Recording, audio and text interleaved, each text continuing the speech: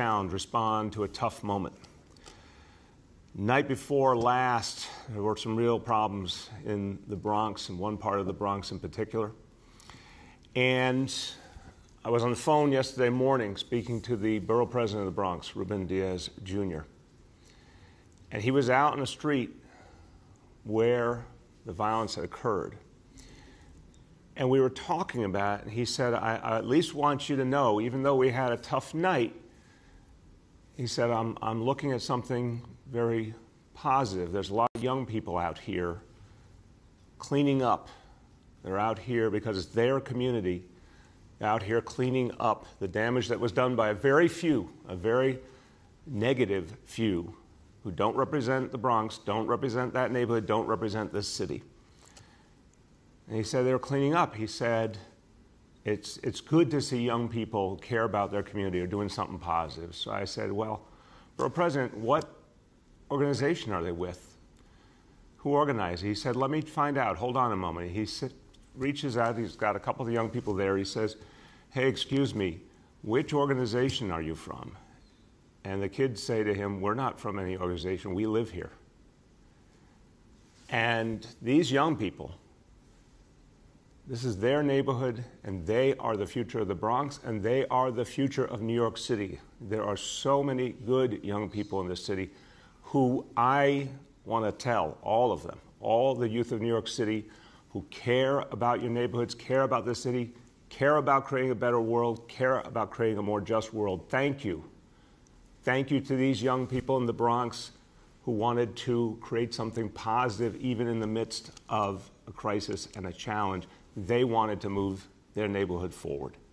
So, look, it's an example to us all. And then I went to the scene yesterday myself later on in the day. I met with store owners who had had their stores looted, and, and I heard their stories, and these are hard working people. People epitomize the heart and soul of New York City. It's a primarily Latino community. Some people owned stores were immigrants, some grew up in the area, but what they had in common was working people who had created something to serve their own community. And I talked to a lot of store owners in their stores. And I asked them what they were feeling, and they were, they were angry, they were frustrated, they needed help. And then every single one of them said, But we will rebuild and we will come back, and we're not going anywhere. And I want you all to hear that because that is the spirit of the Bronx and that is the spirit of New York City. We're not going anywhere. I was in a neighborhood that went through such tough times decades ago, and a lot of people I was with yesterday elected officials, community leaders, store owners, everyday people in the community referenced how tough it had been in the Bronx a few decades ago, and yet they stood their ground and they brought the Bronx back, and they will do it again. So this is a setback, but it's not anything that will change the heart and soul of the people of the Bronx or the people of this city. Last night, we took a step forward in moving out of this difficult period we've had the last few days and moving to a better time. Just got off the phone with Commissioner Shea and First Deputy Commissioner Dean Fuleihan. I want to thank both of them. We have all been talking constantly over these last six days. Both of them have shown tremendous leadership in the midst of this crisis.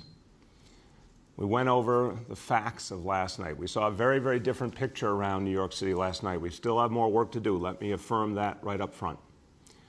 We saw peaceful protests during the day. Yeah, some tense moments, undoubtedly, but overwhelmingly peaceful protest, and the NYPD respecting the, police, the peaceful protest. We saw a few incidents where people decided to do something illegal or violent around the protest, but that was rare. We saw some acts in different boroughs of people attempting to attack property. NYPD was positioned to address that rapidly. We'll get the exact details out as we get more information in the course of the day, but overwhelmingly, it was a very different reality in New York City last night. And the areas that had been particularly affected in Midtown Manhattan and in part of the Bronx the night before did not see that kind of activity in any meaningful number last night. So, a step forward. And working closely with Commissioner Shea and his team, a series of strategies were employed yesterday. And those strategies, I think, by and large, were effective. Those strategies were created in light of the evidence of what happened from 9 p.m. Sunday through Monday night. Again, things we had not seen previously, adjustments were made. NYPD really stepped back yesterday morning and said, okay, we're dealing with something different here. We have to defend differently. We have to address it differently. And they did. And I want to thank the commissioner and his team, and I want to thank the men and women of the NYPD. They've been asked to do a lot the last few days. A lot of them are exhausted from working so hard, but they are going out there doing their job, protecting all of us, and showing a lot of restraint in the process. And that's what we expect. And I want to be clear. Everyone who puts on that uniform takes an oath, agrees to a higher calling, and agrees that restraint will be a part of their life. And keeping the peace means every sense of those words. That's what our officers and their commanders understand. So we expect a lot of police officers. We expect them to live up to the highest standards of our society. And I saw a lot of good last night, and I want to see that continue. So I emphasize that the standards, the rules we put in place last night, the curfew beginning at 8 p.m. and going on till 5 a.m. the next morning, that will be in place, including Sunday night to 5 a.m. Monday morning. At that point, uh, we hope to lift the curfew, move forward just as we're starting phase one of our restart. And the additional restrictions we put in place regarding transportation, we're going to keep all of those in place tonight. I anticipate keeping all of them in place throughout the week. We'll look at that carefully. We might make some adjustments along the way. I do want to say to anyone who was inconvenienced, I, I am sorry that happened, but it was in the name of addressing a bigger problem. And it's the right thing to do for just a few days as we address this situation and move forward. And we all now need to turn our attention to the hugely important moment coming this Monday, June 8th, where we take phase one of the restart. We've got to understand, all of us, as important as the issues that are being addressed in the last few days are, the single most important thing happening right now in New York City is the battle against the coronavirus. Single most important thing is to help people be healthy and safe. And right after that is restarting our city helping people get their livelihoods back. I told you when I was out on the streets of this city uh, in central Brooklyn uh, on Sunday, I talked to a lot of everyday people. They're definitely concerned about bigger issues of justice for sure, but their number one concern overwhelmingly was their economic reality and what they're suffering through in this horrible economic crisis related to the coronavirus. The number two concern was the health and safety of their families we need to get back to that focus.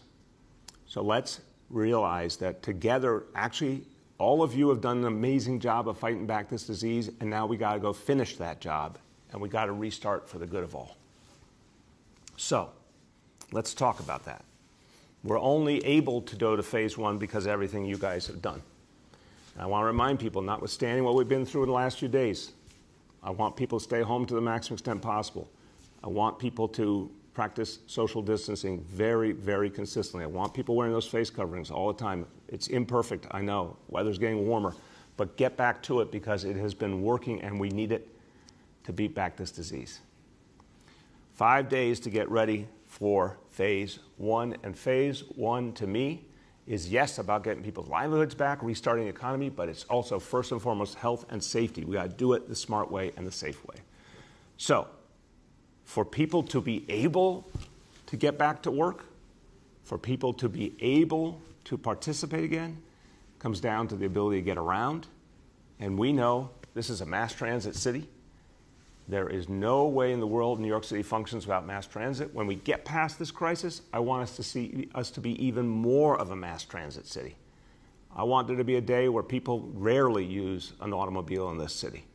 But for now, in this crisis, we have to deal with the immediate reality And that means that people at least need to know that when they get on that subway car, to get on that bus, it is safe and there are rules and it's clean and everyone knows how to approach it.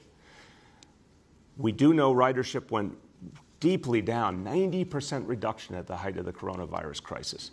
But now people are going to be coming back and they need to know they're going to be safe. So we've had conversations now for days. A lot of us at City Hall have been talking to folks at the MTA about how do we do this right.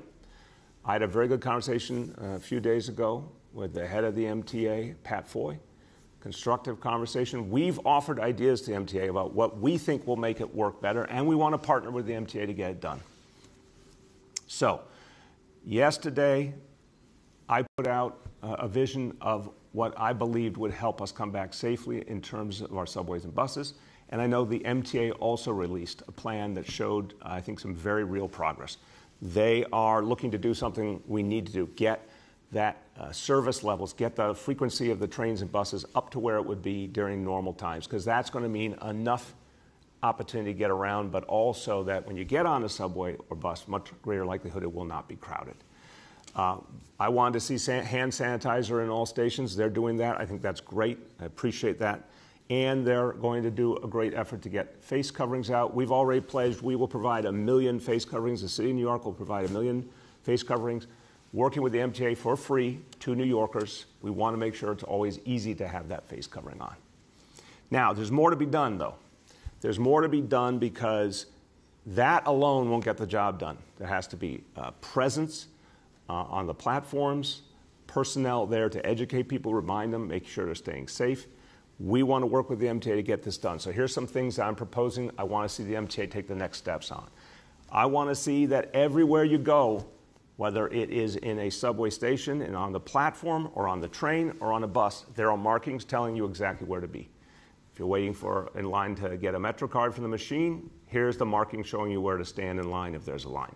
If you're on the platform, here's the markings telling you exactly where you can stand with enough distance from the person next to you. If you're on the subway, here's how many people should be on that train, on that car, and the markings of where you should stand or sit. The same with the buses. It is crucial that every other seat be blocked off so that it's clear you never end up sitting right next to someone. There's at least a seat between people. I think it's clear that we need stated public capacity limits on buses and on trains. Some, as I understand it, some subway cars are different from others in terms of capacity. Great, but let's have the number very clear to everyone.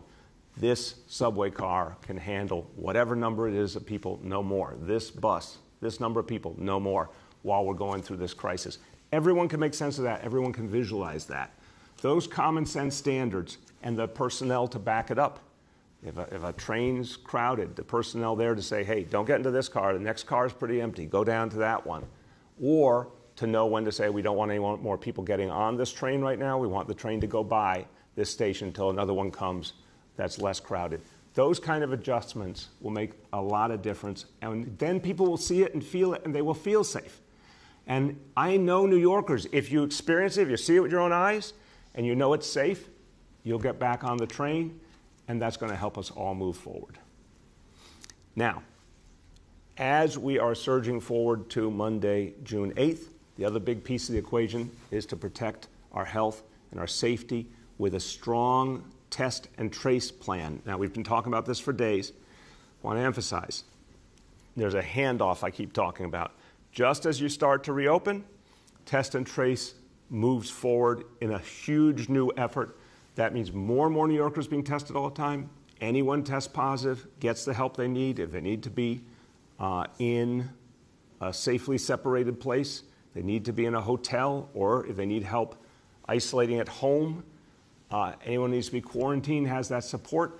This approach is the offense to keep pushing back this disease just at the point where more and more people might come in contact with each other.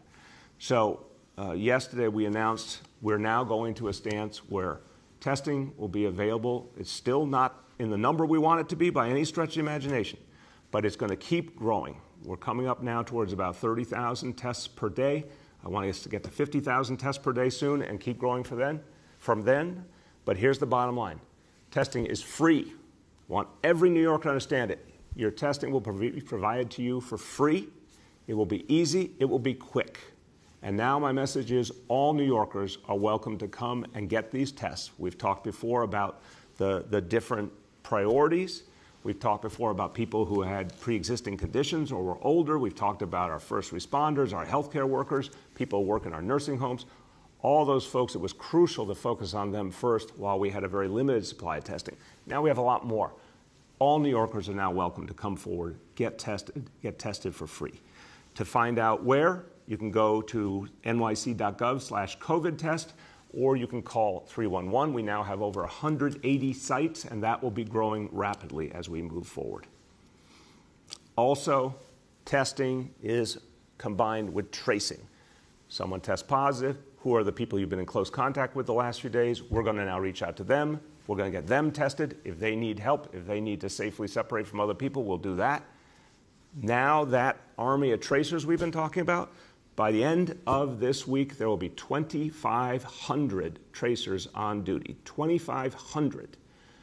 And we'll be adding more the following week, another 1,200. So this number is growing all the time. I've said we are prepared to get to as many as five to 10,000 tracers. They're going into, into duty right now.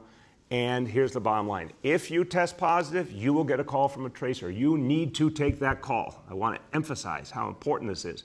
If you test positive, you're going to get that call, take that call, tell them about your close contacts. That's how we protect people. That's how we protect your family and every family.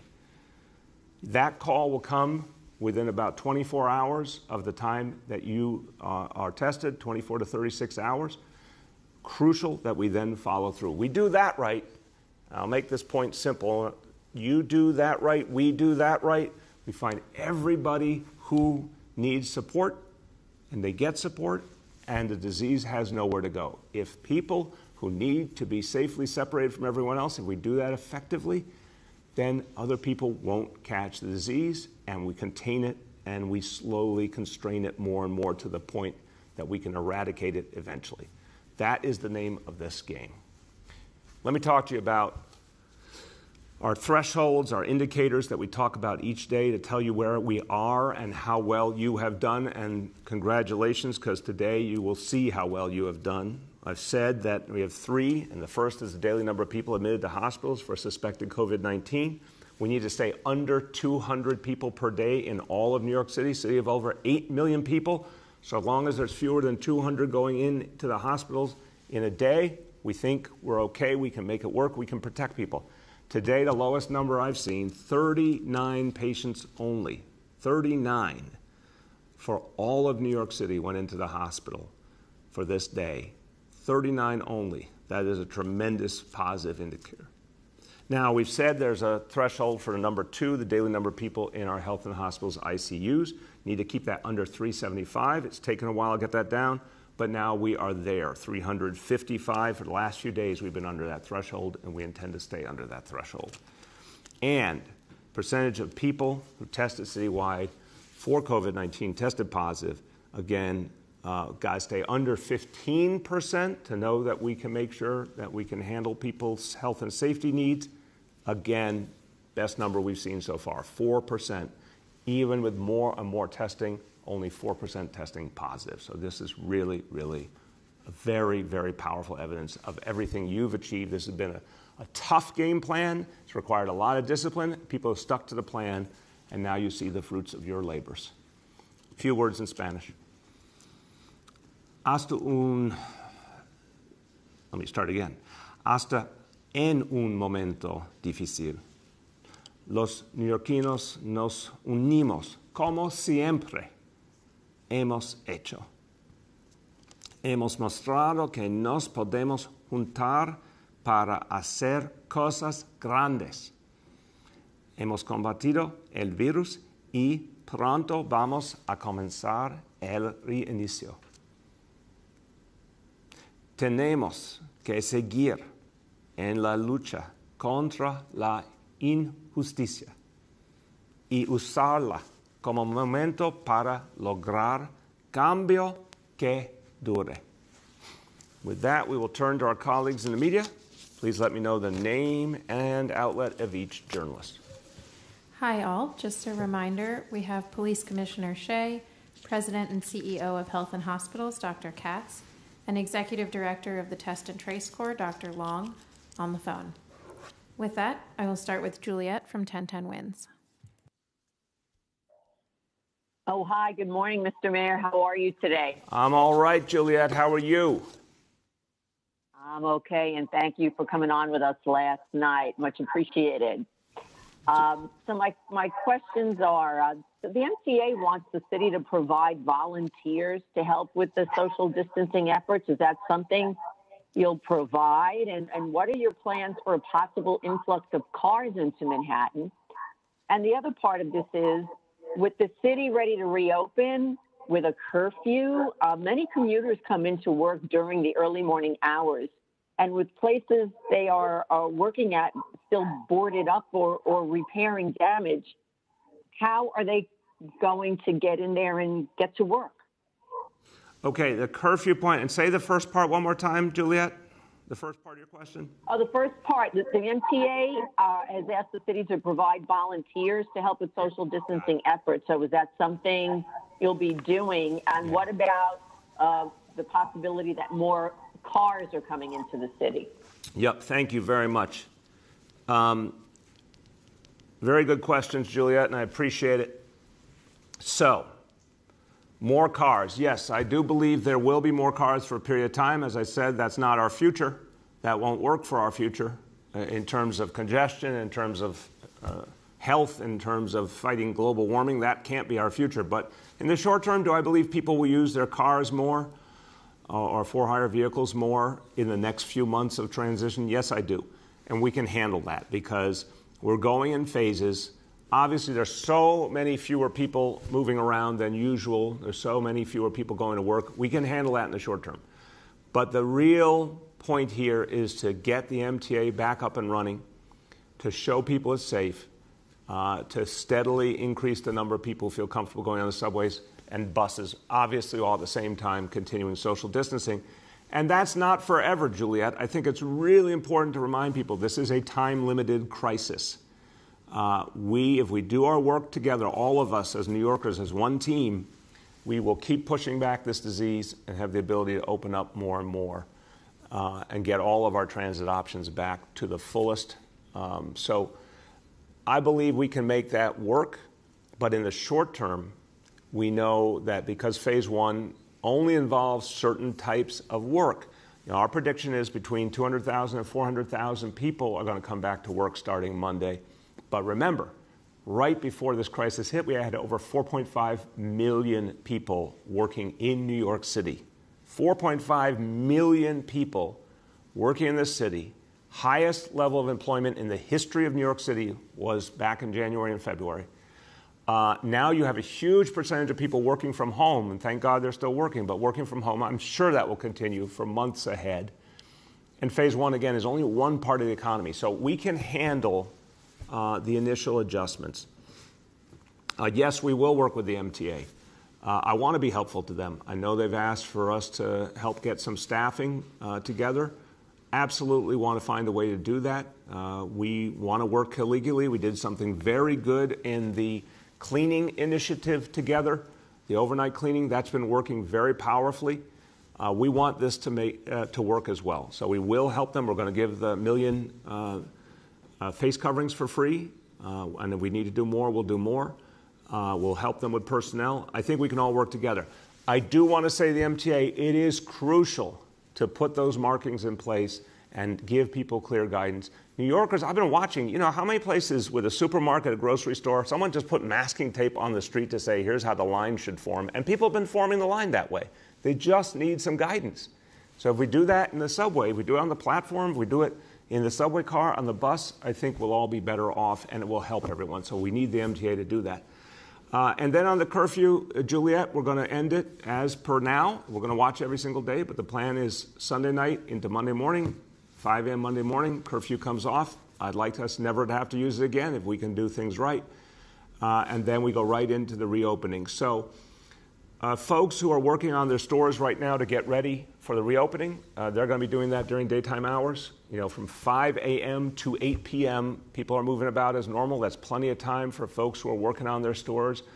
I'm sorry that there'll be an additional challenge for those who might be having to do some repairs right now because of that bad couple of nights, but uh, I know they can get it done. And remember who's coming up uh, for this next phase construction uh, manufacturing, wholesale, and retail that can do curbside pickup uh, and pickup in the store.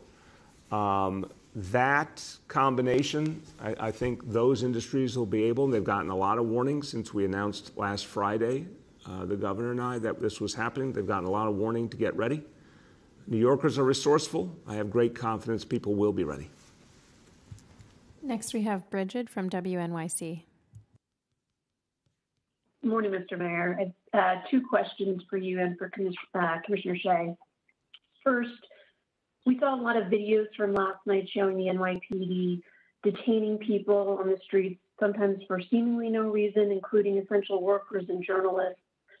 On Sunday, Commissioner Shea said there were about six incidents of potential police misconduct under investigation. I'm wondering what the number is now and if any of those officers are still allowed to police protests while under investigation. And then my second question is related to some of those people who have been detained, many of them for low level offenses that could have been dealt with by summons. Um, that means they're in crowded jail cells during the pandemic. Um, I'm wondering what's being done to ensure the safety of those detained and why officers aren't consistently wearing face coverings. Yeah. Okay, Bridget, I'm going to have to uh, say I respect you a lot. We know each other a long time. That's a lot of questions, and I just, I'm, I'm they are very important and good questions, but I really feel like you went by the ground rule there. So I'm going to adjust your questions a bit. And please, to all the journalists, we're trying to be fair here. Just ask two real questions. It'll be good for everyone, and everyone else gets their chance. And then all of us need to get back to work, which we are doing nonstop here. Um, no journalist should ever be detained, ever. Uh, unless there's an absolutely aberrant situation where a journalist commits an illegal act, there should be no condition under which any journalist is ever detained by the police of this city or any city in the United States of America, period. It's in our Constitution, the freedom of the press. It must be honored. It should never be any anything that compromises that. So, anytime a journalist uh, is in any way treated inappropriately, I want that investigated by the NYPD immediately, and, and I, want, uh, I want to make sure there are ramifications for that. Um, the, uh, we absolutely believe in the right to protest. I think we've shown it and said it a thousand times, and we're going to continue to. Essential workers should not, in any way, shape, or form, be stopped from going to their work. That's very clear. If there's any instance like that, I want to know about it. I assume sometimes that's just based on a lot of activity and people trying to make sense of a complex situation. But the bottom line is if you're an essential worker, you're not supposed to be uh, stopped. You just have to clarify where you're going and why, and the police will understand that. Uh, any officers who are under investigation will not be present during protests. I can say that very clearly. I've had this conversation with the commissioner. Uh, if an officer is under investigation, those investigations from now on are going to go faster. We're going to have faster results. But one thing is for certain if an officer has done something that has led to serious questions about their conduct, they're going to be pulled immediately away from protest duty while that discipline is determined. I want to see it determined quickly. I want to be fair to all involved, but it must be quickly. Uh, so, and then obviously, we must do everything safely. Uh, so I understand the complexities everyone is facing, but I would like to see every New Yorker with a face covering on at all times. I don't like it, you don't like it, it's no fun, especially when it's hot out. Everyone needs to have a face covering on. Everyday New Yorkers, protesters, police, everyone needs to have a face covering on. Uh, and we want to make sure everyone is safe, and people will be detained if they do something inappropriate. And we saw in the last few days people do things inappropriate, people do things violent, uh, people attack property, attack police officers. Anyone who does that is going to be detained. Anyone who's out after the curfew and cannot prove that they are there uh, for essential work reasons is subject to being detained. uh, we're going to follow through on those rules. That's the, uh, the way I've made clear to the NYPD. I expect people to handle things, but I want to make sure everyone's safe. So we certainly will look at, I'll ask First Deputy Mayor Fuleihan to follow up with the commissioner on uh, the situation with anyone who's detained to make sure we're putting the right measures in place uh, for the health and safety of all. Uh, Commissioner, you want to add anything? No, I think you hit everything. The only issue that oh, was a long question that I didn't hear was the summons versus arrest. You know, wherever pr- appropriate, we issue summonses in lieu of arrest. We've obviously done a lot of both, both summonses and arrests. And then on the point of the, uh, the only thing I'll add on the point of the press, you know, it's uh, doing the best we can in a difficult situation. We 100% respect the rights of the press. Unfortunately, we've had some people purporting to be press that are actually lying, if you could believe that. So sometimes these things take a second to, maybe too long, uh, to sort out. You know, I could think of a case uh, with the Wall Street Journal recently. I was just made of, aware of yesterday. Um, they wrote me a, a very nice letter, and uh, you know, I'll be calling them just to apologize. So we're not perfect. Uh, we do the best we can in the situation, and whether it's essential workers or press, you know, the the reality is though, um, as the mayor said, chaotic situations at times. A lot of people obviously know what to say, and they're lying at times. So sometimes these things take a few moments to sort out. But if we can improve in areas, we'll improve. Next, we have Gloria from New York One. Thank you, Mr. Mayor. I wanted to ask you um, I know that we saw uh, a big decrease last night in the number of incidents, uh, in the number of looting incidents, but I wanted to see if there's anything more you could say about um, who these people are. A lot of the video shows uh, young men, what appear to be groups of young people. And I want to know what happened to the work that the NYPD was supposed to be doing to engage with young people. Um, what can you give them as hope as we go into the summer season uh, with a possibility of a budget that might cut education and programs? And my second question, Mr. Mayor, is about uh, these calls that we're hearing about defunding the NYPD. Um, the both of my questions are sort of related. Do you think it's time to take a second look at how the NYPD is funded, um, and that there needs to be more of an emphasis on um, young people and and making sure that they can safely get through this summer um, in the next couple of months? Yeah. Thank you, Gloria. So, I'm, I'm going to just start with a, a, a little remembrance that um, it's interesting. Commissioner Shea and I did not know each other in the year 1991, uh, but our lives were on a parallel track. Uh, he joined the police force and was stationed in the South Bronx. Uh, and he, for the first time, experienced policing in an incredibly difficult atmosphere. It was one of the years over 2,000 murders. Uh, I was working here at City Hall, starting out my work in public service. And right around then, at a point where the city was so violent, uh, and I give a lot of credit to Mayor Dinkins, I give a lot of credit to Speaker uh, Peter Vallone. They got together and they said, We've got to do something different. They said, We need to both increase the number of police officers on the street and we have to focus on youth programming. The initiative called Safe, Safe Streets, Safe City. And Safe Streets, Safe City, then in the early 90s, which required the support of the state legislature and it required funding, um, did both those things together, Gloria. Increased the police force and created the beacon programs that had such a big impact in terms of giving young people a positive opportunity. The plan was called Safe Streets, Safe City. The subtitle was Cops and Kids. The truth of that in the early 90s is still true today. On recent weeks, I've had the opportunity to speak to Mayor Dinkins and speak to Speaker Vallone, two exemplary public servants. their contribution is often forgotten, and it shouldn't be because they helped set us on the path to becoming the safer city we did over the following quarter century. But I tell you this for a reason. I think there's been a lot of police leaders, a lot of police reformers from within the police profession who long ago came to the conclusion that a focus on youth was the only way forward. A positive focus on youth was the only way forward. I believe in that fundamentally. And that investments in youth programs are just as crucial to public safety as what we do with traditional policing. So we have to figure out how to do both. Now, over these last days, we've asked a lot of the men and women of the NYPD.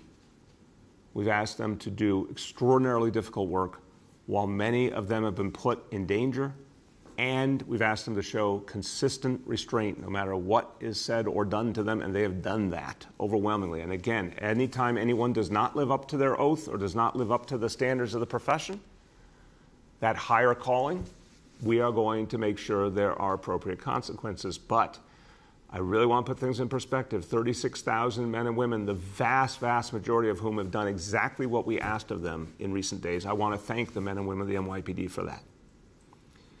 Now, how do we move forward? Commissioner Shea, I said we started around the same time. He said some things in the last months about youth focused policing that were profound.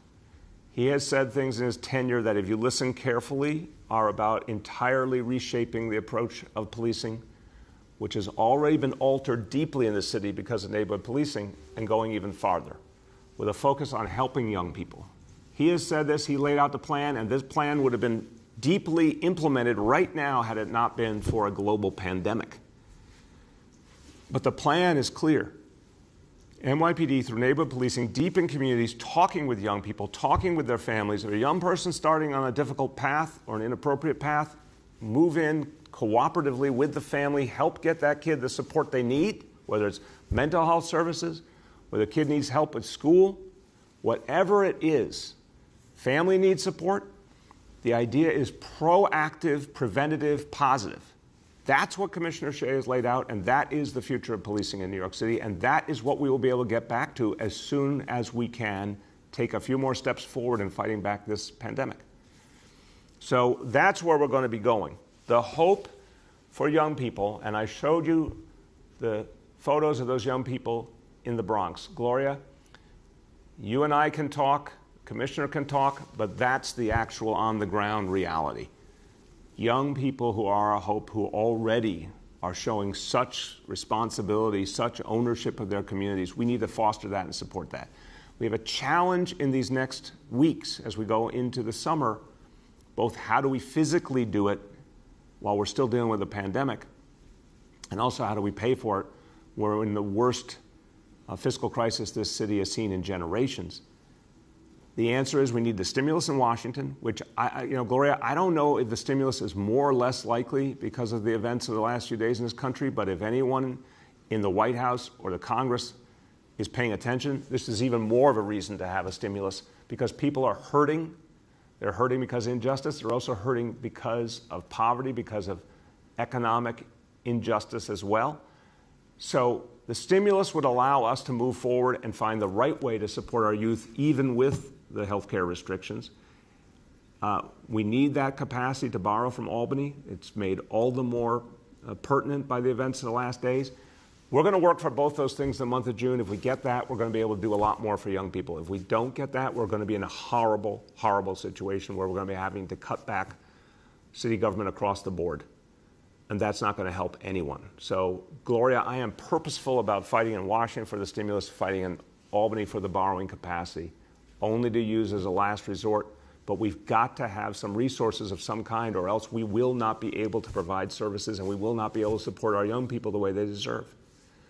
So, uh, final point I'd make the, I, I understand, I, I don't mean to make light of this, but I'm reminded of the song Imagine by John Lennon.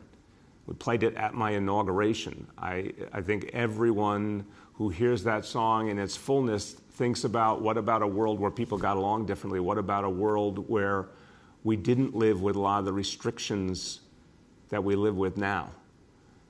But we're not there yet. We are making a lot of progress, I truly believe. I believe the protest movements themselves, the peaceful protest is the essence of how we make progress. The reforms made within the NYPD are progress, deep progress. But for folks who say defund the police, I would say that is not the way forward. At some point in our history, we may be in a very different situation. But right now, and I use that analogy from the early 90s, having a police force that is able to keep everyone safe and able to engage at the community, at the community level, having a police force strong enough to do the work of public safety, but also the work of building community with people and healing. Uh, I think that's necessary for now. Uh, so I understand the impulse, but I think the impulse misses the reality we're facing right now. And look, I am hopeful we can bring these strands together, and I'll conclude with this point. I'm hopeful we can bring these strands together powerfully. I really am. We need a different approach. We need a host of additional reforms in policing. We need people to believe that there will be transparency, that there will be actual discipline consequences when someone does something wrong, and it will be swift. We need to make sure the right police leadership is in the right place in our communities. We have a lot of things we can do differently and better, and we will do them aggressively. And we need to get to Commissioner Shea's vision of youth policing because that will be transcendent. That will take us to a whole other place. And we can do that. So, all of these things I think can be brought together in a very, very positive manner if we have some resources to work with. If we don't, Gloria, it's a very, very difficult situation. But, but I'm going to keep uh, believing in New York City, believing in our people, believing in the NYPD. I also believe in community leadership. One of the things you've seen the last few days is community leadership coming forward, owning the space, owning their neighborhoods, rejecting violence, rejecting looting, rejecting anyone who wants to attack officers or property the Cure Violence movement, I think, is one of the most hopeful things we've seen in this city in recent years. People from the community, including some people who had lost their way, who become change agents, who become uh, peacemakers, mediators, community voices. That's the future of this city. Next, we have Julia from the Post. Good morning, Mr. Mayor, uh, Commissioner Shea, and everyone else on the call. Um, first question for the mayor and the commissioner. Could you give us a detailed sketch of, of the looters over the last couple days? Um, where are they coming from? Um, kind of what their size is? Are there different groups? Um, we heard from a high ranking law enforcement source that they're using stolen out of state U Hauls to transport the pilfered merch. Um, and then, secondly, for you, Mr. Mayor, um, I'm wondering about the impact of the looting over the last few days on the on the city. Um, some small business owners, including some in the Bronx, are saying that the pandemic, in combination with the damage and theft, will force them to close forever. Um, the downtown shopping districts say it will delay the reopening. Um, we saw Saks spending $16,000 to protect their store with armed guards and razor wire. Um, what's your message to those business owners, and do you regret your administration couldn't protect them better? Julia, I believe that all of us, all of us in City Hall, everyone at the NYPD, uh, used every tool that was right to use in this atmosphere and looked at the big picture of what happened in this city and in this country from Thursday night through Sunday night. Again, up until Sunday night around 9 p.m., no serious instance of any looting in New York City, even if we saw it elsewhere. Things changed on Sunday night. We made an adjustment for Monday, saw something really troubling Monday night, made a much deeper adjustment, and you saw a very different reality on Tuesday night, and that's where we're going to hold.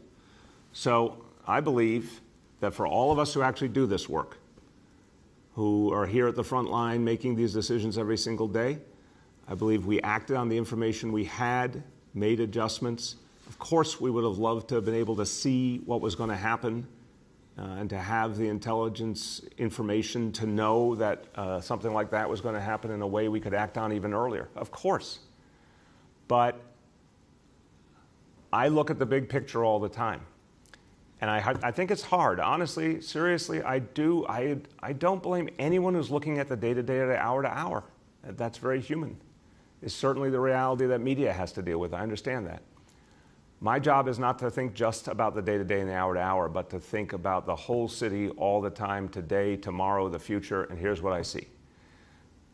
Starting on Thursday, we had a national crisis, a historic and painful national crisis. Our job was to keep the peace in the city. Our job was to ensure that there was no loss of life. Our job was to ensure that even if there was tensions between police and protesters, there would be peaceful protest honored and respected. Our job was to show people that uh, policing would be restrained but still effective. And then, when we saw something that we really don't have a lot of history of in recent generations in this city, that organized looting, then it was our job to figure out strategies that will work without forgetting about everything I said previously. We were not going to miss the fact that we still had to keep a peaceful dynamic in the city. We still had to respect the views and rights of people expressing themselves. We could not create a counter mistake trying to solve one problem, creating a new problem. We had to strike a balance. Commissioner Shea and I talked about this incessantly. And as I said, uh, First Deputy Mayor Dean Fuleihan, thank him for all the work he's done. I want to thank Chief Terry Monahan, Chief Fausto Pichardo. We have all been talking constantly and making those adjustments. That's what leaders do. Uh, I'm confident that as we gain more information, more intelligence was gathered, more sense of the specifics that you referred to at the beginning of your question, that we saw the pattern of what was happening, that the adjustments were made. Last night showed me something very different. We're going to stay with this strategy through the week. Uh, I want to emphasize the vast majority of people who have been out these last six days have been peaceful. A small number of people aim to do violence towards police, particularly that kind of anarchist group, and some of whom, as we said, come from outside. Certainly, many of whom are protesting in communities that they're not from. And then a organized group of criminals doing things like looting for pure financial gain, pure criminal gain, nothing to do with protest whatsoever. No cause, just plain old crime. And they will be dealt with. Uh, final point on the small business, and then we'll turn to the commissioner. I feel for every business that has gone through these last few days, we want to help businesses come back. I talked to the store owners in the Bronx. I said, we're going to find ways to help you. And again, uh, Respectfully, Julia, for all the folks who spend a lot of time trying to tear down New York City, I'm not going to let you tear down New York City. So you can try, but you will fail. Those store owners want to come back. Every time you want to tell the story of what's wrong with New York City, I'm going to tell the story of what's right with New York City. And every time you want to ignore the everyday working people of the city who believe in the city, who fought through stuff you couldn't even imagine in the South Bronx in the 1980s, I talked to people about yesterday. I talked to the borough president. I talked to the councilman. I said, I've asked, we, we had a group of community leaders in a room. I said, How many of you were here in the 80s? People raised their hand. I saw the South Bronx in the 80s. What they went through night before last was horrible, but they went through 100 times worse and came back from it because they're that tough, they're that resilient, they care about their community, they will come back. So the vast majority of those small businesses will come back and we will help them come back. Anyone who can't, especially because of the blow of the coronavirus. I, it saddens me deeply.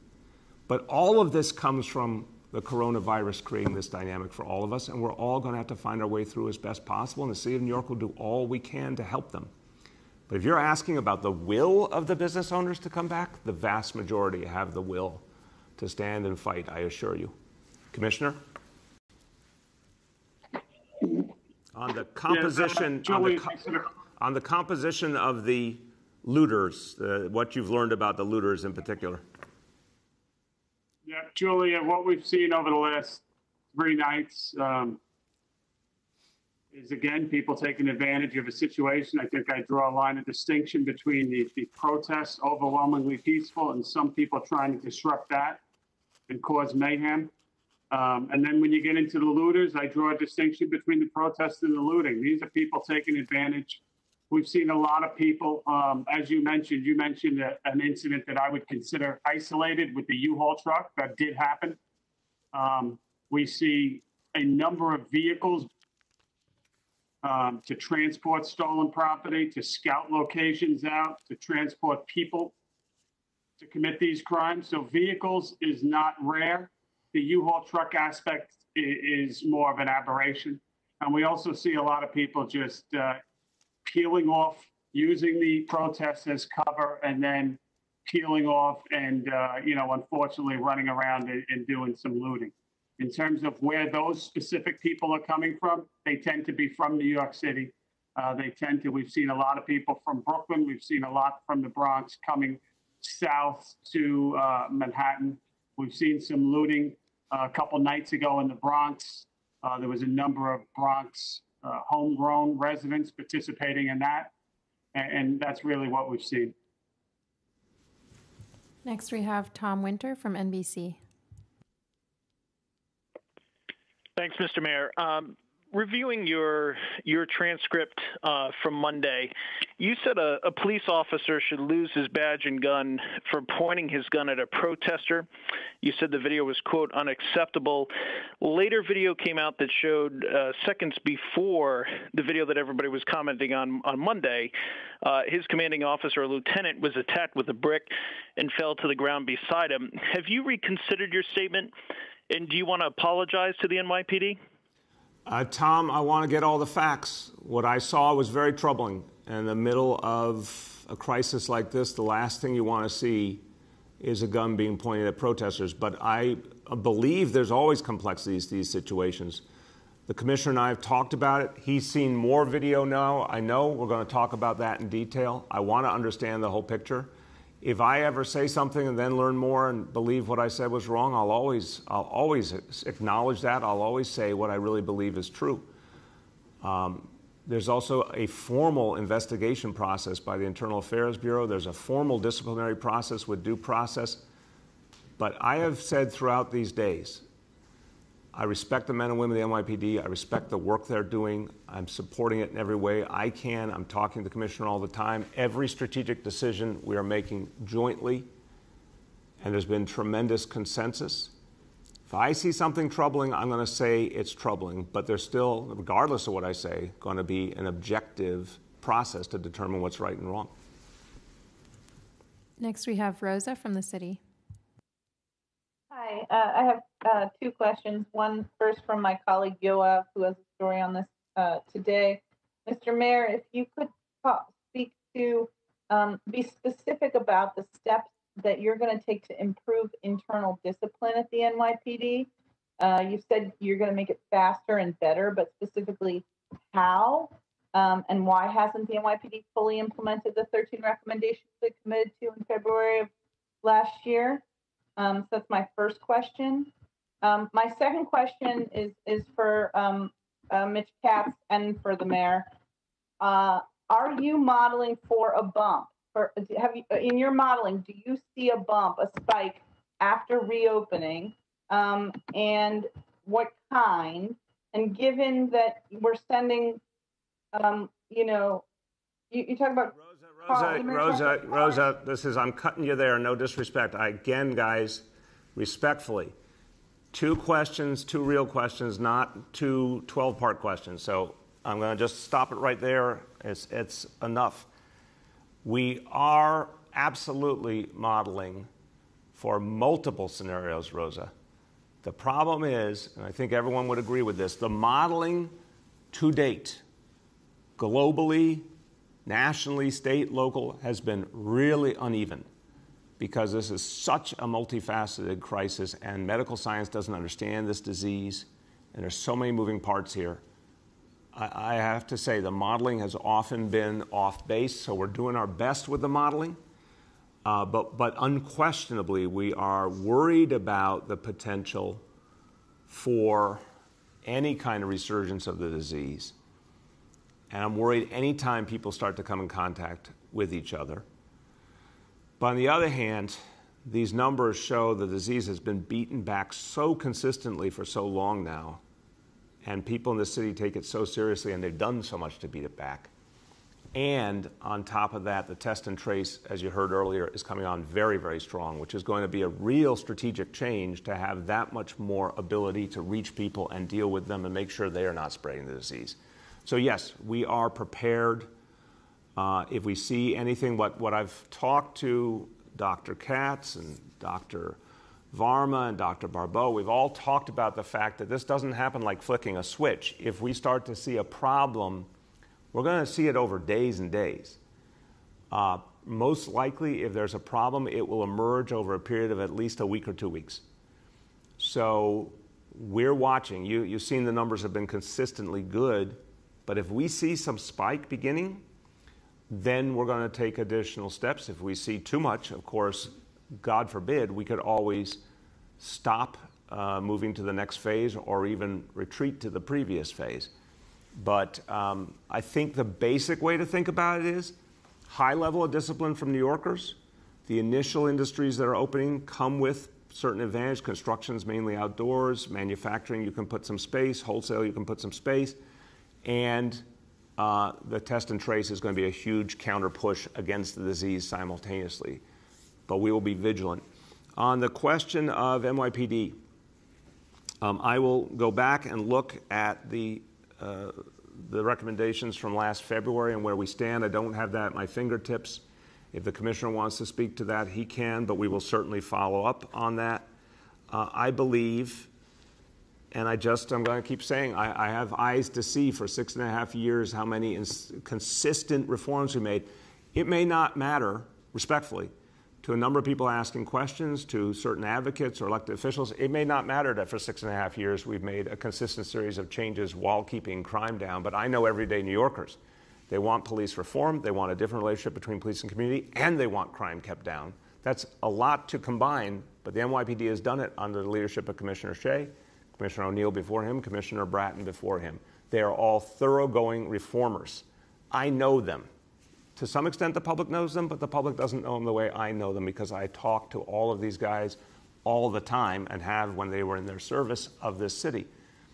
These are individuals who devoted their lives to changing the nature of policing and making it more about the people served, period. So that work has gone on for six and a half years. It's going to go a lot further in the next year and a half. I want to see the 50A repeal happen immediately in the month of June. I want to see a faster disciplinary process at the NYPD. I believe we can achieve that, and I'll provide whatever resources are needed for that. I want to see uh, officers who are in the wrong place in the NYPD moved, and I want to see officers who should not be on the police force on the police force. I mean, off the police. Anyone who shouldn't be on shouldn't be on. As simple as that. Anyone who needs to be removed should be removed. I don't think that's a lot. I think the vast majority of officers do their jobs well, listen to the training, have been practicing de escalation, have been showing they understand and believe in neighborhood policing. So, all of those things are going to happen. I don't have a doubt in my mind. And uh, as we do that, plus the commissioner's vision of youth policing, which again, respectfully, he said he, he has said such incredibly powerful, moving things. He laid out a plan. I didn't see a lot of conversation about that. I think that's unfortunate. I hope when we start to implement that again as we fight back this crisis, I hope people will pay attention to what he's doing. And, Commissioner, I'm going to ask you to jump in uh, to speak to Rosa's question, but also I think the people in New York City right now need to hear again your vision of youth policing. You've said it a bunch of times, but maybe memories are short in this crisis. I don't blame people for that. Could we start by having you just define for a moment where you'd like to take the relationship between NYPD and young people? So I'll begin with that, and then I'll finish with the um, the discipline piece. You know, I, I've been around policing now nearly 30 years, and, I, and I've seen the good, the bad, and I've seen what works and what doesn't work. And what the, the mayor alluded to before was that where, where you look at where we've come from and all that we've done in this city, and have more to do, frankly, not just here, but across the country. Um, when you look at what we've done with precision policing and reducing arrests, implementing neighborhood policing, um, reducing summonses and stops, having the lowest incarceration of any major city in this country, which is often not portrayed. It's put us, go back six months, a year, it's put us at a unique opportunity in time, I believe, to really build upon neighborhood policing, to really take that next step. And, what I stated when I was appointed the police commissioner and believe wholeheartedly is that we have an incredible opportunity here to really reach down and to further neighborhood policing, to really build relationships and strengthen the commitment in neighborhoods, specifically with youth, because the youth are the future of this city. And doing everything we can, whether it's the Bronx, whether it's Brooklyn, whether it's Manhattan, Queens, or Staten Island, to reach out to kids of all races, of all economic conditions. And I'm not specifically talking about the kids that are in trouble here. I'm talking about the kids that don't get into trouble or could be on the cusp of trouble and guiding them and giving them opportunities and building relationships with officers. Uh, what can we do better? What, what, what services do we have? Can we be the quarterback of all services? We, we obviously deal with kids that make mistakes. We obviously deal with kids that come from troubled relationships because we're already responding to those apartments. We're already going to the schools or taking missing persons reports when mothers call us and say, I don't know what to do with this kid. There is an incredible opportunity here, and it's not going to be an opportunity like many other things that is solved solely by the police, but we think we can really take the lead on this. Uh, Chauncey Parker, my deputy commissioner of collaborative policing, Nilda, Nilda Hofmann, who's the community affairs head, Juanita Holmes, who's in charge of um, school safety, were all put into positions um, specifically to guide us through this. And, and right, literally week one of the pandemic, we had 100 youth coordination officers selectively interviewed by the following three executives, the preceding three executives, all with the same mindset of what we're looking for here, that recognize that there's many ways to police. Sometimes you police with handcuffs, sometimes you, you police with a hand and leading people and guiding them and mentoring them. And we, we specifically interviewed 100 youth coordination officers that had that exact same mindset, that came from the same communities and want to help. Remember, we're a minority majority police department. We have an incredible opportunity here. And, and in the first week of their training, which is incredibly um, upsetting to me, is when the pandemic hit and it was put on hold. And then you got into a situation where we're trying to think outside the box. How can we how can we keep moving forward? And it was literally close to impossible when, when you can't when you have executive orders that are appropriate that we can't meet. We can't have people outside on the streets. So, you know, between working with partners, thinking outside the box, how do we engage with kids in this environment? The environment is constantly moving. Um, but we still have put some things into place. We've, we've done youth councils via Zoom we, we've scheduled and worked with external partners, celebrities in some case, and asked them what they would do with us in terms of sports leagues online. I mean, we're still moving towards that, but that's the overall philosophy. We have to stop that pipeline that creates, and the pipeline is getting smaller and smaller, but it, with the precision piece, it's allowed us to really have a, an amazing opportunity here. If we could do more stop that pipeline of people getting entangled into the criminal justice system. I mean, it's not going to be every single case. I think we all realize that, but there's a lot more that we could do here. On the discipline, um, I think that you're referring to the blue ribbon panel. Um, last year, I can't re- recite off the top of my head. I don't have it in front of me. I can tell you that many of those things were put into place. In fact, the majority will be put into place. I think uh, our biggest obstacle here is transparency and, and making sure we communicate to the public what is going on, uh, what is going on with investigations. We may not always see exactly eye to eye, but I think that most of the difficulties that we engage in can be cleared up with clear communication and explaining the why. Um, so, um, in terms of the Blue Ribbon panel, uh, I think it was overwhelmingly positively received and and many many of the uh, recommendations have already been put into place. Things such as transparency, things such as a uniform uh, discipline system to make sure that there's no inequities. And I, I believe we posted some of that. So we're moving towards that. Thank you. And I want to just add one more very quick point before the next question. Commissioner alluded to the reduction of arrest, the reduction of incarceration. Again, the facts are the facts and the progress is the progress. And I'm going to keep saying it. And everyday New Yorkers are experiencing it. And when I go into neighborhoods, people talk about it. They talk about I've had young people come up to me and say what it is like to no longer be stopped all the time and frisked all the time. I've had people talk to me about the fact they can see that there's many fewer arrests, that arrest is not the go to all the time. Bill Bratton said this to me a long time ago. He said, Arrest is one tool of police officers. You train officers well, you give them discretion, you respect their professionalism. A lot of times they can get something done without ever resorting to an arrest. Therefore, what do we have now? We have, in the year 2019, we had 180,000 fewer arrests than the last year of the Bloomberg administration in 2013. 180,000 fewer arrests, and the city got safer. We're at the lowest level of incarceration in the city since the 1940s. These are real actions that affect real people. These are not symbolic actions. These are not actions that folks think make them feel good. These are actual changes that reach everyday people's lives. And that's what we're going to do more of. Next, we have James from Pix 11. Hello, Mr. Mayor. Good to see you. How Hope you you're doing, well. James? Uh, not bad. Thank you for asking. Uh, for you and uh, Commissioner Shea, uh, Chief Monahan said earlier today that Governor Cuomo apologized to him privately for saying the NYPD was not doing its job. Uh, will you uh, please respond to that and say how much you'd like him to apologize publicly? Also, what would a good night tonight look like relative to the curfew? Thanks. Thank you, James. Uh, I've said everything I'm going to say about the governor's remarks. I spoke to it on 1010 wins last night. That's all I'll have to say. I want us to move forward. I want all of us to move forward. We got a lot of work to do.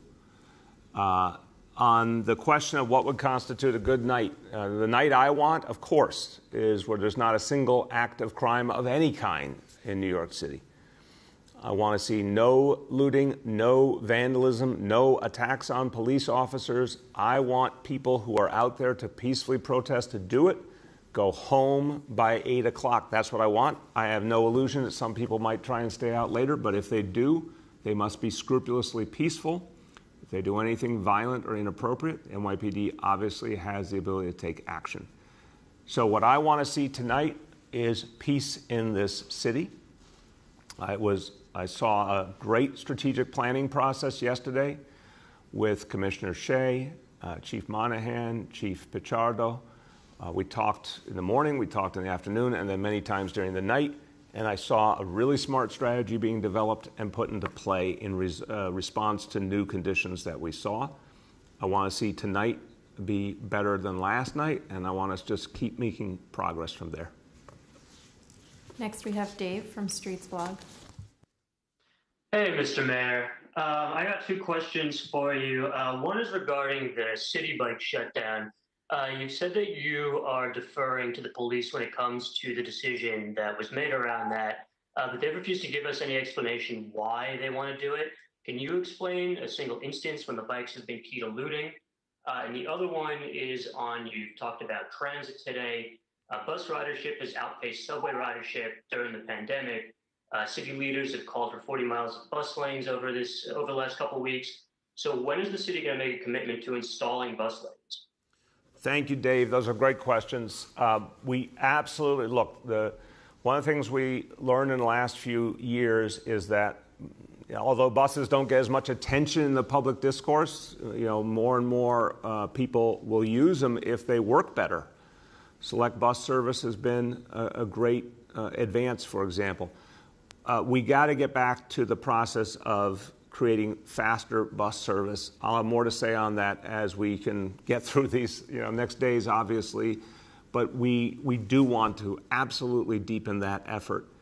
Uh, I think it is, I think you're right. I think people do feel more safety right now in health terms in the buses than they do in the subways. I want to see people feel healthy and safe about both. But we do need to double down on buses, and we'll certainly have more to say on the specifics of that soon. Uh, on the uh, Citi Bike, I, I, I, don't know how to say this to people. I keep trying to say it, and, and I, maybe my words are failing me. But there's got to be an understanding in this town that there is a unity here in the decision making process.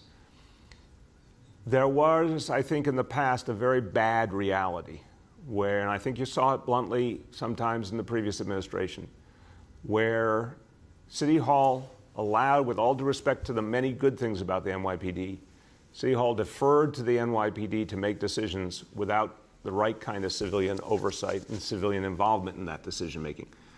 Uh, I want to give credit to my three police commissioners. They actually have read the U.S. Constitution. They understand how this is supposed to work. They understand that elected civilian leadership makes the central decisions and respects the policing professionals and, of course, gives them the leeway to do their job. The model we have developed here is when my police commissioners say they need something, I'm going to go out of my way to get them the resources they need and the support they need. When my police commissioners say, we have a strategic direction we think is going to work, we'll put them through their paces, ask the tough questions. But when we all agree, and that overwhelmingly, you know, all three commissioners have brought forward plans and visions around neighborhood policing, around police reform. Remember, anyone who has the illusion that each of the major steps taken here was taken somehow in isolation between City Hall and One Police Plaza does not understand what happened here.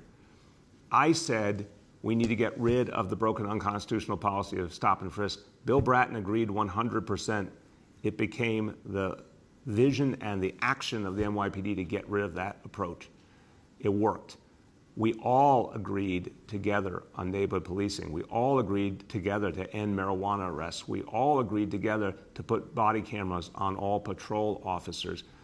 Every step along the way, there was discussion, thoughtful discussion, and agreement because we share a common vision of change and reform.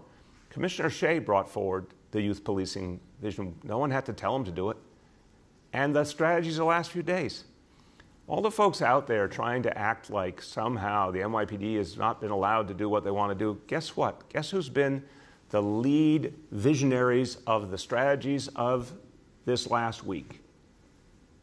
Dermot Shea and Terry Monahan, I think they've been spot on in their judgments. A couple of things happened that we didn't see coming, and we had to make the adjustments because we're humans and because we're dealing with a very, very fluid, ever changing situation. But the vision that was put in place yesterday, everything that happened yesterday strategically, was originated in discussions coming out of One Police Plaza, brought over here, talked through, we determined things together. There's no deferring. If I think an idea is a bad idea, if I thought the idea with Citi Bike was a bad idea, it wouldn't have happened. If I thought the idea with the for hire vehicles was a bad idea, it wouldn't have happened. If I thought what happened on the Manhattan Bridge last night was a bad idea, it wouldn't have happened. We are talking all the time, and we are in unity. So, uh, to me, the Citi Bike idea was a very good one. Now, Commissioner Shea, I've kept it very general, and I know we're dealing with uh, security issues and strategic issues. So I have kept it general on purpose. And if you want to say anything further on the Citi Bike situation, this is where I will defer on how to speak about uh, a strategic matter. I defer to you to explain what you feel comfortable explaining at this moment. No, I think you covered everything, Mr. Mayor. Thank you. Last two for today. Next, we have Dana from the New York Times. Hi, Mr. Mayor. Two questions for you. Uh, first, I was wondering if you or I guess or the commissioner could at all describe how the tactical directions for the police have changed over the course of the protests. And secondly, I was curious if you had any response to President Trump's series of tweets criticizing your and also the governor's management of the protests. Hmm. Okay, I'm going to take them uh, in that order. Um, the tactical approach was based on keeping peace in every sense of the word. So, Dana, I think it's really important to look at the underlying philosophy here. Neighborhood policing, again, if I, I wish you understood, I don't mean this negative to you, I'm saying I wish I could better articulate I, won't, I don't want to use the word religious because that may be too strong, obviously, but I want you to understand the people I have empowered Bill Bratton, then Jimmy O'Neill, then Dermot Shea. The admiration I have for these people is boundless. And they are people of faith in a different way.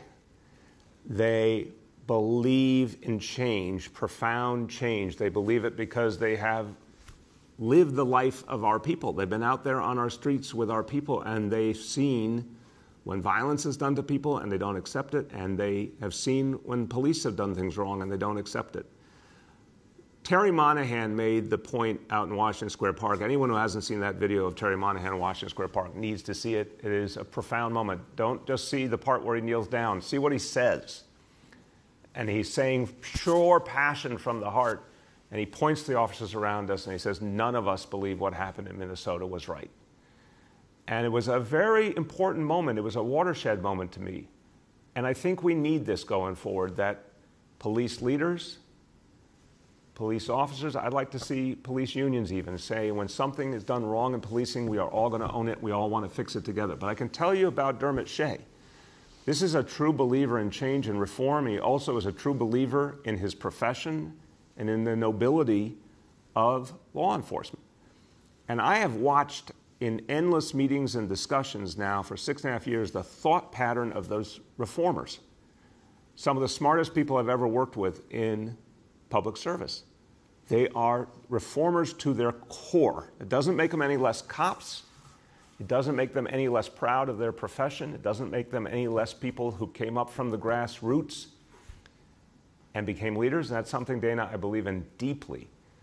I've chosen three police commissioners who came up from the grassroots of policing, two of whom came up from the grassroots of the NYPD. And they are such thoroughgoer, thoroughgoing change agents. I could barely describe it to you how much they are working every day for change. So, the tactical point. It began, and I'll tell you something, and uh, Commissioner Shea, I don't mean to embarrass you. From the very beginning, it didn't even need to be said because the commissioner was abundantly clear.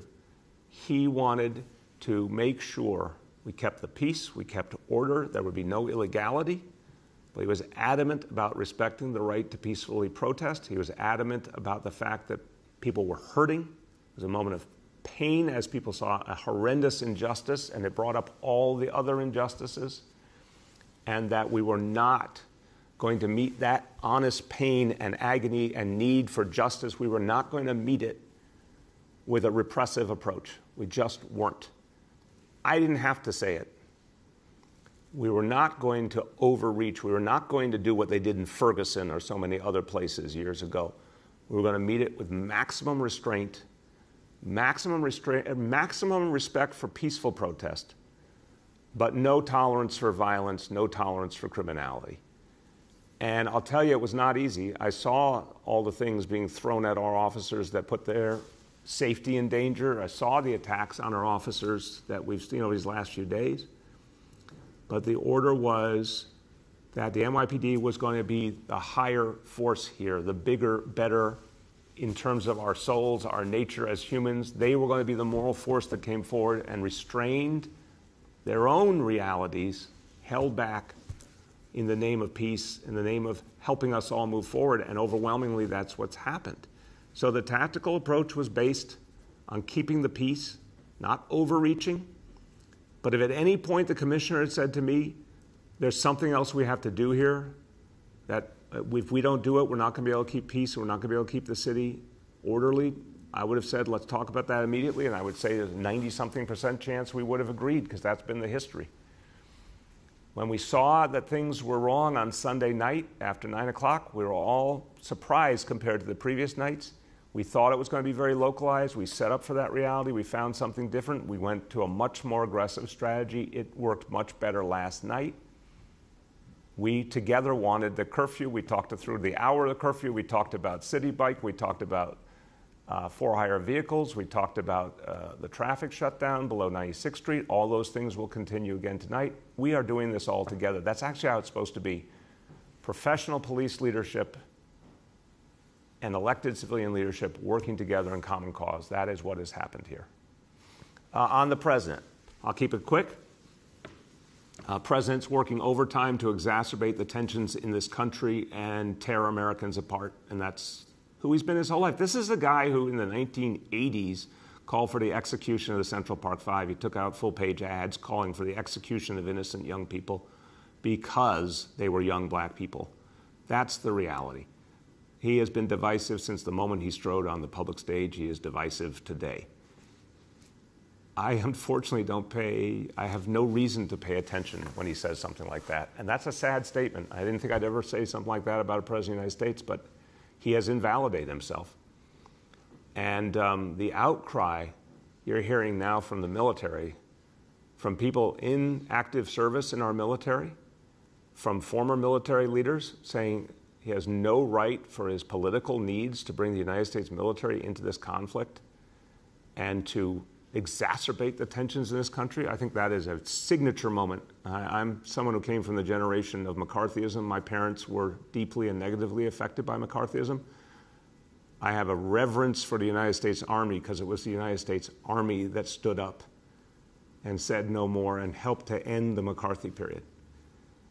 And I think it is very sad to see our military put in such a compromised position, but I can guarantee you, people within the military now and people who uh, are out of the military but were leaders in the military are going to keep saying this can't go on, and I believe it will not go on. The president, unfortunately, added to this from the moment he took office, created so much division in this country. We could have used compassion, he gave us none. We could have used a president who took charge in the coronavirus moment. He didn't. He dithered, didn't give us the testing, didn't give us the help, hasn't given us a stimulus. So much of this is literally at his doorstep. So he can tweet all he wants. I just wish he would be a president once in a while and actually help us. Last question for today Henry from Bloomberg.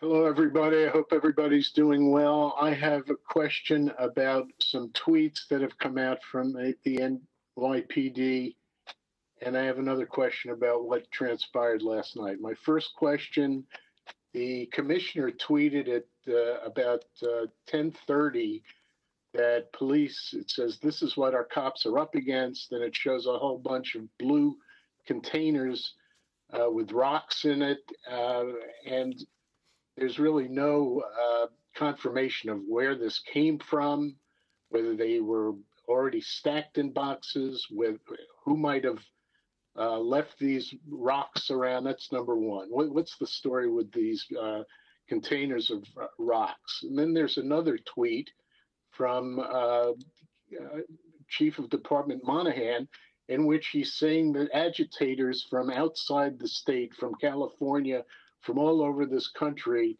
are being paid to take this movement, uh, which is a good movement, and turn it into violence. I, I would like uh, some uh, facts and evidence to support this assertion, which uh, is a serious assertion. And that's my first question, I'm sorry to say. My second question is what was the thinking behind penning all of those people on the Manhattan Bridge last night? What was the strategy? What was the thinking and reasoning behind that? Thank you. Thank you, Henry. I'm going to start. I'm going to turn to Commissioner Shea, and then I'll, I'll just conclude for the day. So I was uh, observing the situation at the Manhattan Bridge uh, from a site very nearby and uh, talking it through with uh, Commissioner Shea. And uh, I think it was the right decision to say there's a curfew. People really should just plain be home. But uh, there was an exceptional effort to respect peaceful protest, understanding uh, this moment in history. But the notion that uh, folks were going to cross the bridge and just keep going and going into Manhattan, including into places where there had previously been physical damage, that was just not tolerable.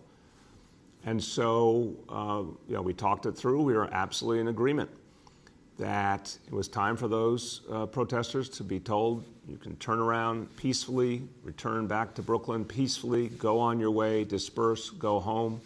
There was a lot of discussion, as I understand it, on the bridge and attempt to really uh, talk it through with the protesters. I've seen more of that since Sunday, more dialogue between police leaders and protesters much more like what we've seen historically with protests in the city.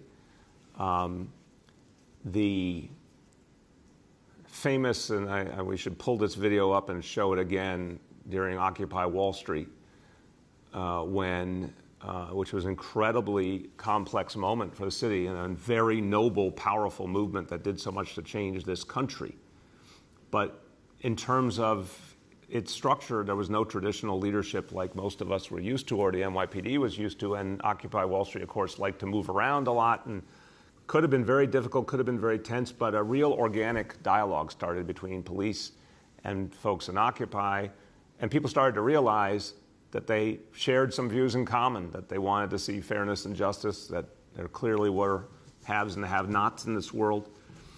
And more and more Occupy leaders started to see the humanity in the police. The police saw the humanity in the Occupy movement and the people there. And so, even when they moved around the city in complex ways, everyone worked it out. And there's a famous vignette where there's a negotiation, and some of the members of the Occupy Wall Street movement asked the police if they could move back from a certain area and said, if you do, we'll keep it peaceful. We're just asking for the space. And the police thought about it, agreed it was fair, patiently moved back, gave some additional space to the protest. And the protesters broke out in a chant, and they said the police are the 99%. They recognize the police as their fellow, not only human beings, but their fellow working people wanting to make ends meet for their family, wanting a decent life, wanting to go home safe, uh, dealing with the same challenges in a society still so riven with injustice that every other working person deals with. So I believe those moments can happen and will. And last night on Manhattan Bridge, there was a real dialogue, but it's against the backdrop of a curfew. The police leadership said, We understand your feelings, we understand your desire to keep moving, but there's a curfew. And we don't want to arrest everyone. We want to let people go home peacefully. And the way to do that is to go back across the bridge. And that's what happened. And then, as people were going back the other way, I went to see that happening and I saw people peacefully dispersing. So it worked. It was the right thing to do. Uh, on the tweets, I'll let uh, Commissioner Shea speak to those. But I do think and I've asked Commissioner, Deputy Commissioner John Miller to keep outlining to all of you that evidence which he can provide. As everyone understands, there's some information that's not yet providable because of security issues. But unquestionably, we are seeing an organized effort to create violence that it does not reflect the vast majority of the peaceful protesters and is separate from the criminals who are doing the things like the looting. There is a politically motivated group with an ideology I cannot make any sense of that is trying to do violence and organizing it, has game plans, has materials they use, training they do, people out spotting for them. There's all sorts of clear tactics being used consistently here and around the country. It's really straightforward. We should give you all the evidence we can. We should keep giving it to you as we can. Commissioner, can you speak to where the rocks, I mean, in general, how those rocks are being used and where they were and anything you want to say at this moment that you feel you can say uh, about the presence of outsiders in our city trying to do this violence. Yeah, so in terms of the tweet today, um, unfortunately, it's not an isolated incident. That's the latest. Um, again, just to put out so the public understands what's happening, I think it's important. That was two locations. Uh, one was in Brooklyn, one was in Queens, where pre-staged uh, bricks are, are, are being placed and then transported to uh, quote unquote peaceful protests, which are peaceful protests, but then used by that criminal uh, group within to sow fear. Um, we've had uh, construction site burglarized in recent days in Manhattan. And it's interesting, you know, a construction site burglary is not that uncommon, but during a riot, it's interesting what was taken bricks. We've had in the Bronx bricks thrown at cops and at precinct station houses. We've seen some of those seemingly innocuous plastic bottles that you see thrown during protests. Well, it's only a water bottle. What the media has not necessarily reported is that those water bottles are often filled with cement. So we have vehicles that it would appear as if our doors are hit with a Louisville slugger swung by, um, you know, Mark McGwire, leaving dents in the car doors by a simple water bottle filled with cement. If anyone is questioning what is happening, your head is either in the sand or you're not paying attention. There is an orchestrated attack specifically on members of law enforcement across the country. And we are seeing it, unfortunately, uh, alive and well in New York City. And we've seen Molotov cocktails, multiple incidents, multiple incidents thrown at buildings occupied by people. And let's remember that word. These are people. Uh, Molotov cocktails thrown at police vehicles, bricks we've talked about, and, and, and I could go on and on. And, and what I just again plead for um, is that this needs to become not a police issue. This needs to become a human race issue, a New York City issue. Um, you know, there's a lot of talk and there's politics and there's everything else. I, I, I think that what we're starting to see is everyone working together, um, whether it's neighborhood groups, church coalitions, um, you know, and all of that. And let me just say something, you know, because it's been on the news lately, and it, it's good to let's keep moving forward. I could tell you that, you know, it's reported this morning about conversations with the governor. Any conversation between the governor and myself is going to stay between the governor and myself. And I think that's appropriate and how it should be. And everyone needs to just let's start thinking about each other. Let's think about each other as humans. I have no doubt that the governor cares deeply about all law enforcement. We need to stop allowing others to divide us because no one wants to be divided here, and we are moving forward. Amen. Amen. Well said, Commissioner. I'm going to conclude on a very similar note. Uh, people in New York City, that's who I have faith in. Uh, there are people trying to divide us. There are people coming from outside this city trying to pursue an agenda that includes violence. That's unacceptable. There's some people in this city pursuing a violence agenda. That's unacceptable. But overwhelmingly, vast majority of New Yorkers, they're not only about peace, they're about justice and fairness and decency and compassion. This is actually not only one of the toughest places in the world, it's one of the most compassionate places in the world. I honor and love the people of this city because of the goodness in this city. So, look, this is our city. These are our neighborhoods. We will take back our city from anyone who aims to do us harm. Look at those young people in the Bronx. That's our future right there. Look at them. They, they saw violence, they saw an attack on their neighborhood, and they came out to make things right. It just makes me so appreciative and so moved that there are so many good people in the city we will take back our neighborhoods, our city. You're looking at our future right there on our screen, and it's a good future. Thank you.